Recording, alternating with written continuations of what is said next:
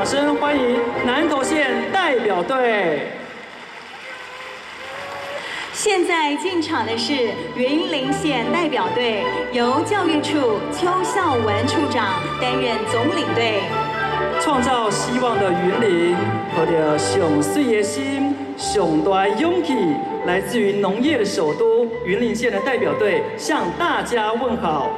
榆林县政府的团队结合了教育、社政以及医疗卫生部门，全面照顾县民同胞，更提供全体县民参与各项体育赛事的机会，协助开发体育运动的潜能。这一次，榆林县将要超越障碍，迎向阳光，展。